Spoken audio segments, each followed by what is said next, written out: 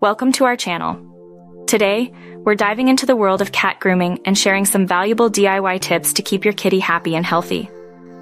First things first, let's talk about brushing. Regular brushing not only helps keep your cat's coat shiny and tangle-free, but also reduces shedding and prevents hairballs.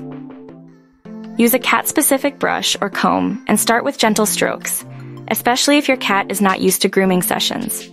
Make it a positive experience with treats and praise. Next up, nail trimming.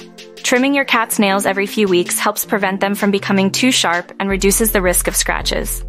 Use pet nail clippers and only trim the tip of the nail to avoid cutting the quick. If your cat is not comfortable, take it slow and try desensitization techniques. Lastly, let's talk about dental care. Dental health is crucial for cats, so consider brushing their teeth regularly with a cat-specific toothbrush and toothpaste. Start slow. Introduce the toothbrush gradually and use toothpaste flavors your cat enjoys. Your vet can also recommend dental treats and products for oral hygiene. And there you have it DIY cat grooming made easy. Remember, regular grooming not only keeps your cat looking great, but also strengthens your bond. Thanks for watching.